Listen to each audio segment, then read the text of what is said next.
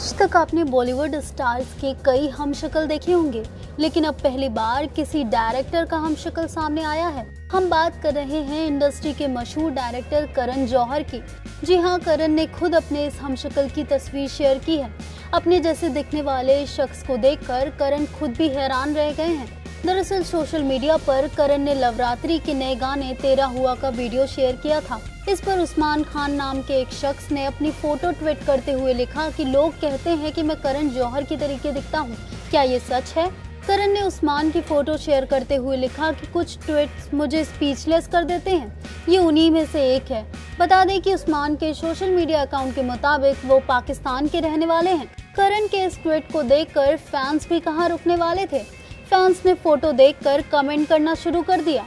किसी ने कहा कि कुंभ के मेले में बिछड़ा भाई मिल गया तो वहीं किसी ने कहा कि ये आपका भूत है। बता दें कि फ़िलहाल करण रेडियो प्रोग्रामिंग कॉलिंग के दूसरे सीज़न को होस्ट कर रहे हैं। इस शो में वो कॉलर्स को रिलेशनशिप से जुड़ी बोल्ड सलाह देते हुए नज़र आते हैं।